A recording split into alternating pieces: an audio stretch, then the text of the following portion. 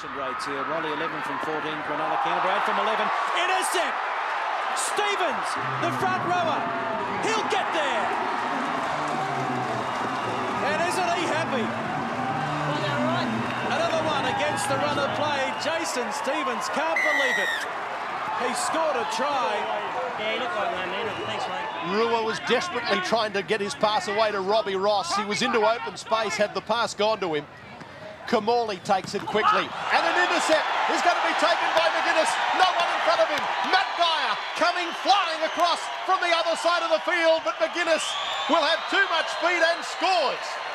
Against the run of play, Kevin McInnes runs away to score the try for the Magpies that puts them back into the game at 10-6. Just over halfway as Darren Mapp gets ready to come on for the Raiders.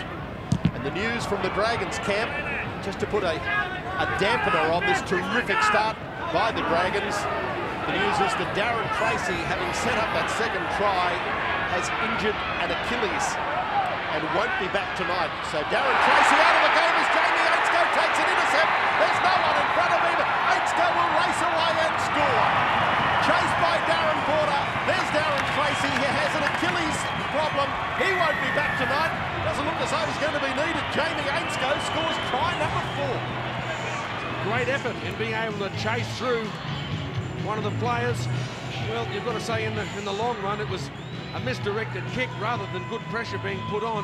Canberra tried to keep the ball alive, and I thought it was a, a fairly good idea at that stage. They had to try and shift the ball wide. They had four on one at this stage here, but this, well, you can only say that that is a very misguided pass.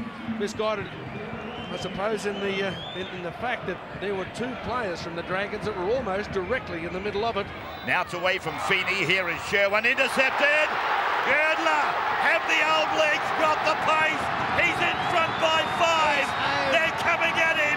Patten's after oh. him. El Masri's after him. Girdler makes it. Girdler pulls out every ounce of stamina. He's done his hammy, right? I reckon he's done his hamstring 10, 15 out from the line. He certainly pulled up quick. It wasn't just tiredness, but he's home. Don't know who's going to take the shot. At, well, it'll be Campbell.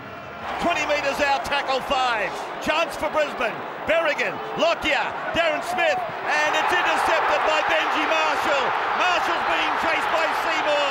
Marshall's over halfway. Benji Marshall, he's running away from them now. Benji Marshall scores, and the Tigers are on the board. Robbie Tanganoa is out there. Play on is the call.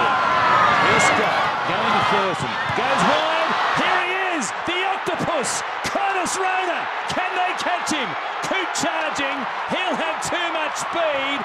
Curtis Rona back in Townsville. Runs a long way for a big Bulldogs try.